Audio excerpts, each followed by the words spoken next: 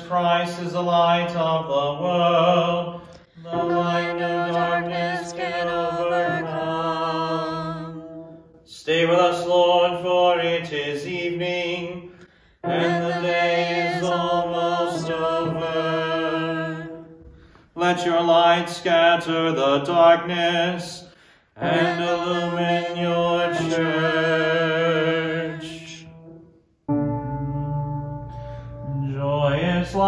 Glory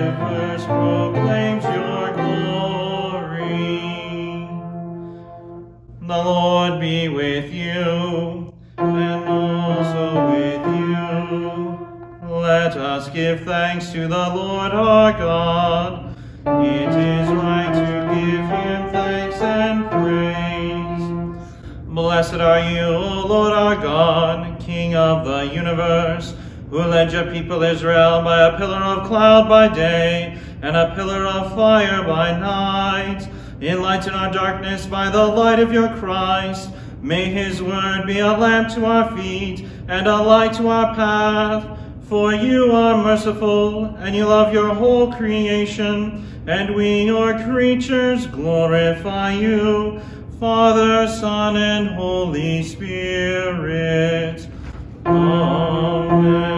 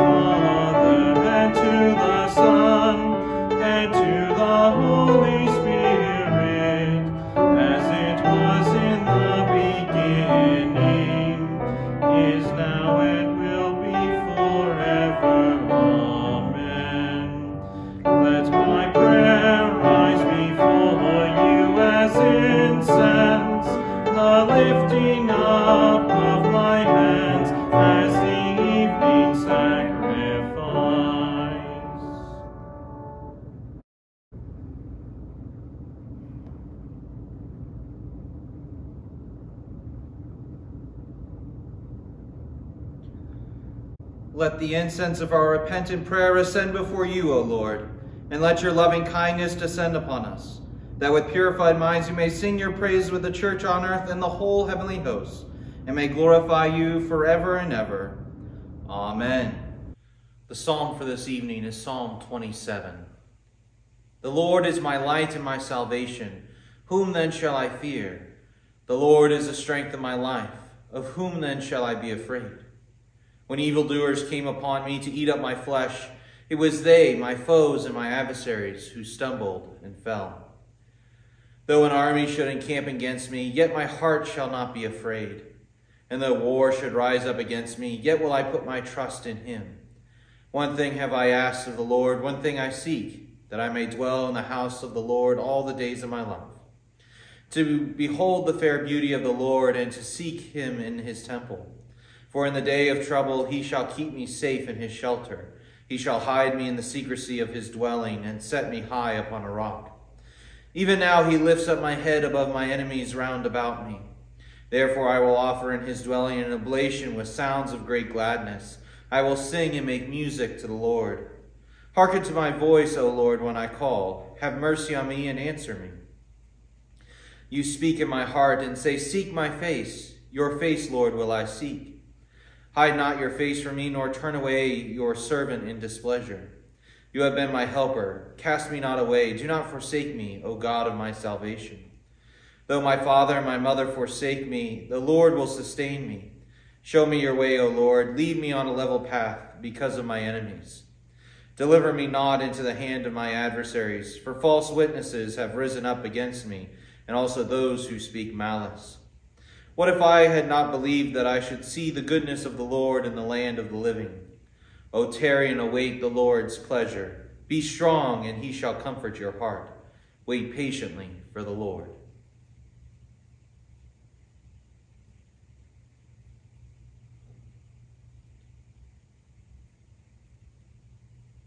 Let us pray. Gracious Father, protector of those who hope in you, you heard the cry of your Son and kept him safe in your shelter in the day of evil. Grant that your servants who seek your face in times of trouble may see your goodness in the land of the living. Through your Son, Jesus Christ our Lord. Amen.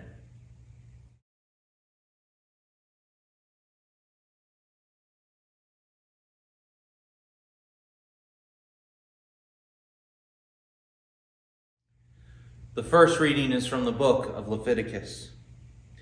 Then the Lord spoke to Moses, saying, Bring out of the camp the one who cursed, and let all who heard him lay their hands on his head, and let all the congregation stone him. And speak to the people of Israel, saying, Whoever curses his God shall bear his sin. Whoever blasphemes the name of the Lord shall surely be put to death. All the congregation shall stone him, the sojourner as well as the native, when he blasphemes the name, shall be put to death. The word of the Lord. Thanks be to God.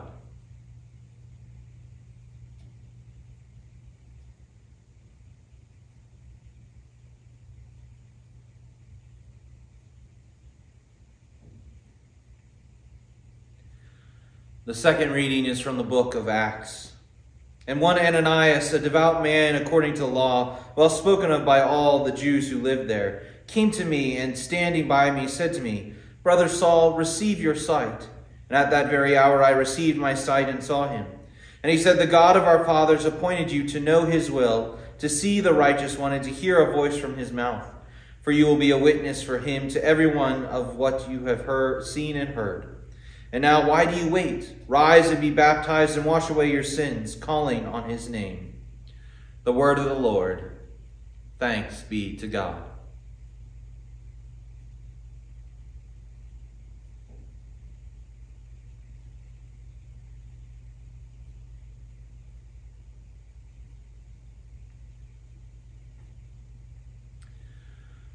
The third reading is from the book of Matthew. Then those who had seized Jesus led him to Caiaphas the high priest, where the scribes and elders had gathered. And Peter was following him at a distance, as far as the courtyard of the high priest, and going inside, he sat with the guards to see the end. Now the chief priests and the whole council were seeking false testimony against Jesus, that they might put him to death. But they found none, though many false witnesses came forward.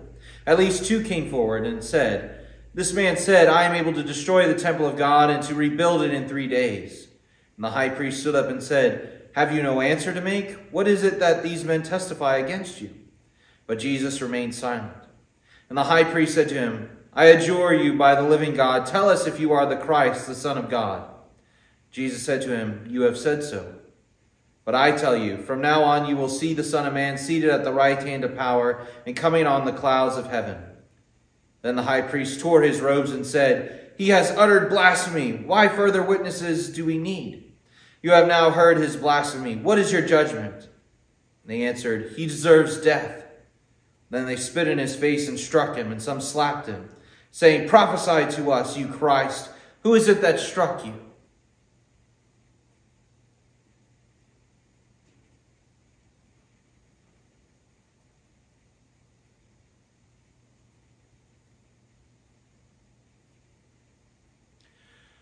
In many and various ways, God spoke to his people of old by the prophets, but now in these last days he has spoken to us by his Son. My soul proclaims the greatness of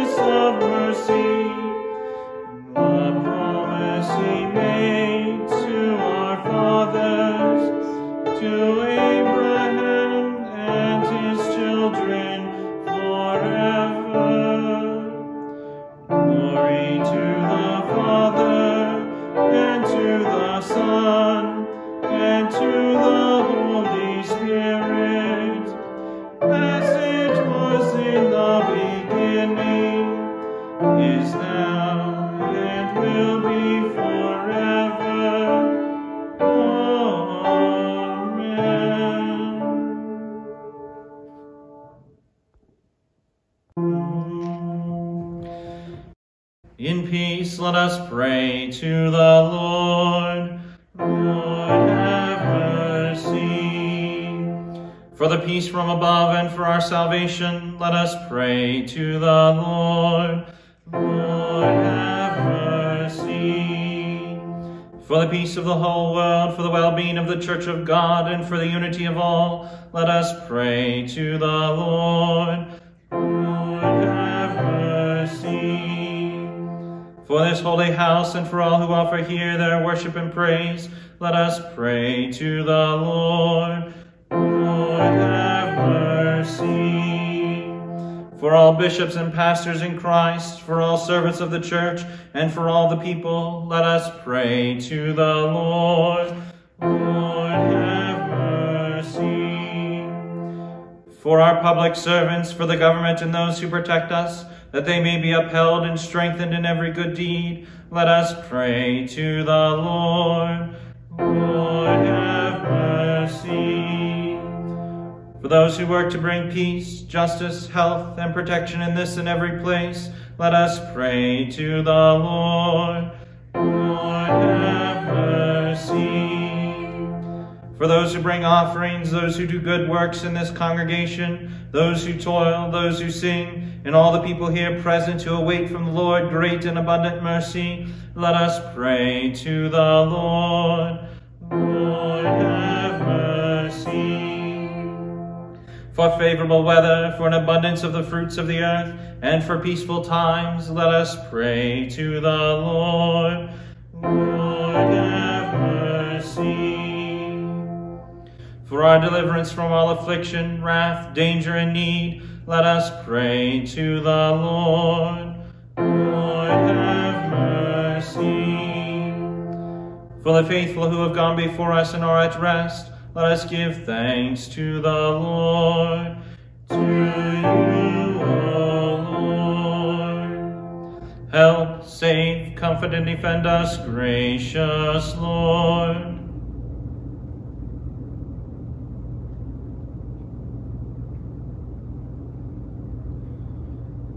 Rejoicing in the fellowship of all the saints, let us commend ourselves, one another, and our whole life to Christ our Lord.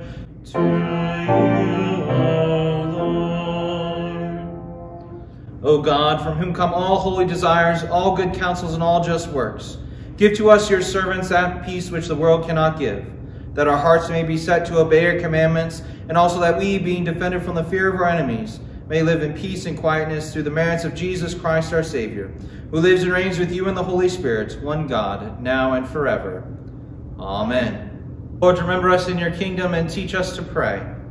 Our Father, who art in heaven, hallowed be thy name. Thy kingdom come, thy will be done, on earth as it is in heaven. Give us this day our daily bread, and forgive us our trespasses, as we forgive those who trespass against us.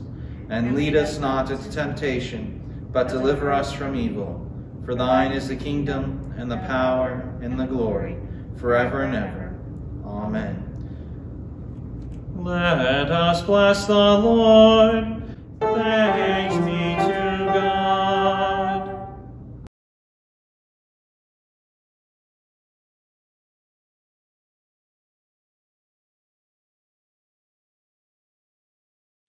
Grace be unto you and peace from God our Father and from our Lord and Savior, Jesus the Christ.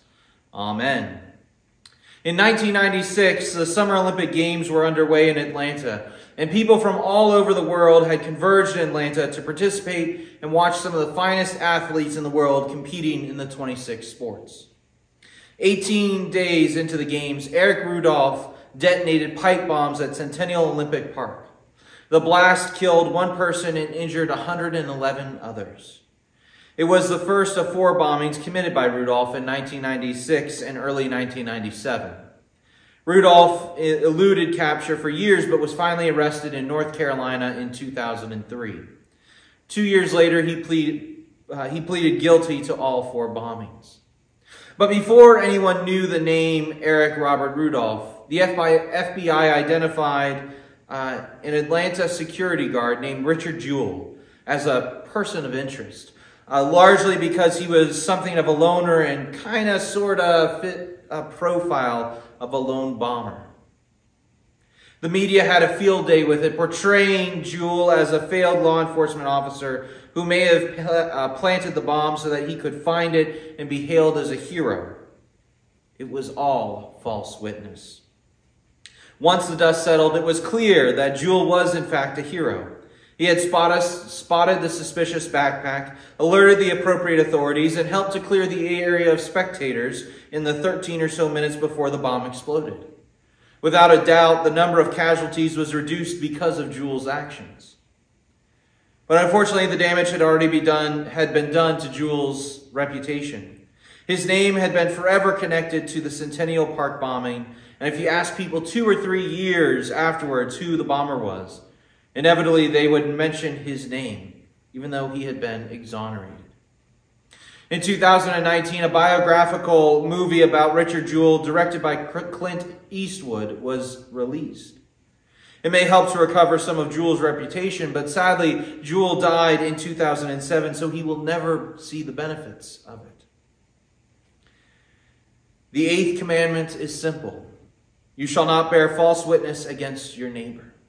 You know, I would guess if you thought about that commandment, most of you, if you thought back to your own time in confirmation, think that this commandment is mainly about gossip, that our false witness most often has to do with the ways we talk about one another to third parties, to another person. And that's certainly true, but we cannot overlook the fact that this commandment, in its simplest meaning, has to do with what is said in public courts of justice. And this is exactly what we see in today's gospel reading. You'll recall that we are working through a sermon series this Lent focused on Jesus' passion and God's call for us to repent and to return to Him. Return to the Lord your God. We are looking at several of the events that occurred along the way as Jesus went to the cross for our salvation. We are examining the sins committed. The idea is that these events can help us to recognize our own sinfulness and help us to hear God's call to return to Him as a loving word spoken to us as a child of God. He invites us to trust in Him for our salvation, won for us on the cross. Our gospel takes us to a dark place, though. Jesus has been betrayed by Judas Iscariot. The temple guards have seized him and hauled him to Caiaphas, the high priest, and all of the scribes and elders had gathered. They have decided that they are going to put Jesus to death, presumably in order to protect their own power and position. And they are determined to complete this task by any means necessary. Now the chief priests and the whole council were seeking false testimony against Jesus that they might put him to death. It's worth stopping right there to simply ponder that sentence for a minute.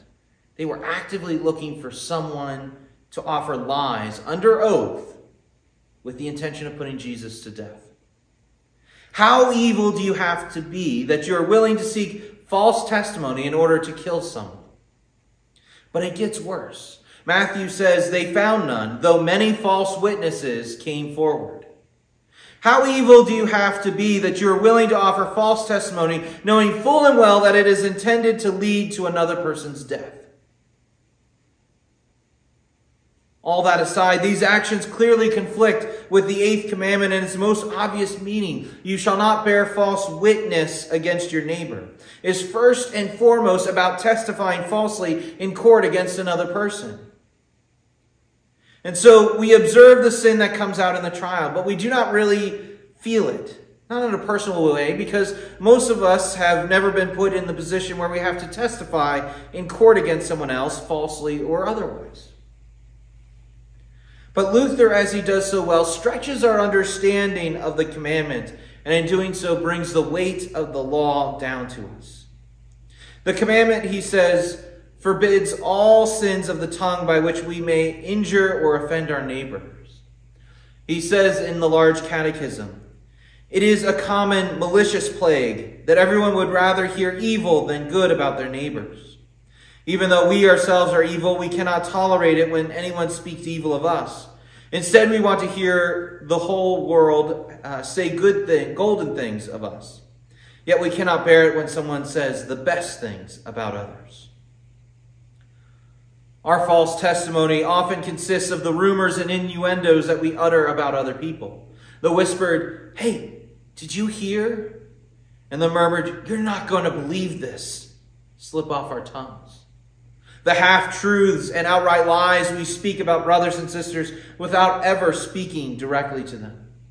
The slander and backbiting we too often delight in sharing. Luther boils it down like this no one shall use the tongue to harm a neighbor, whether friend or foe. No one shall say anything evil of a neighbor, whether true or false, unless it is done with proper authority or for that person's improvement.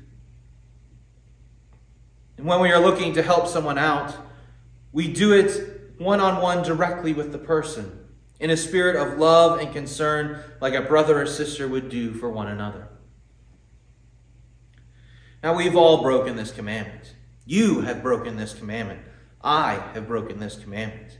And we are all deserving of punishment for that sin. Each of us has, and each of us is. If we look around today, there is so much false witness against our neighbors, it's not even funny. Go on social media, and, and what was once created for reuniting family and friends from across the country and world has now become a place to bash one another. Cyberbullying runs rampant, and I have personally witnessed how it split a church in two. Children, young adults, and anyone else on social media can witness this happening in posts, pictures, and videos that tear people down or give unrealistic expectations. The hatred and false witness across social media has caused many parents uh, to put their foot down and refuse to give their children a phone that has access to internet in hopes to shield them from it. Our world loves to tear each other down. But God calls us to a different path. He invites us to return to Him. We are called to turn and leave behind our sins of false witness and see that He has something different in mind. We are called to repent, to make a 180 degree turn. God calls us not to tear one another down, but to build each other up, to help support one another in times of need. God uses us to help others when they are in need. We need to be countercultural. We do not need to spread hatred and disgust with others on social media and especially not in person. We need to tell others how we see them. We see each person as a child of God, one whom God created and made special, one whom God sent his son to the cross to die in order to redeem them and save them. Church should not be a place where people are afraid to come to because of what other people may say or think about them. Church is a place where we can come and be at home, to be refreshed and to be renewed. And so this evening, God is calling us to first know that Christ endured all of that, that false witness in Jerusalem in order to reconcile us to God and win forgiveness for all of our false witness. And second, to empower us to speak the best about others to help protect their reputation, and to always put the best construction on everything.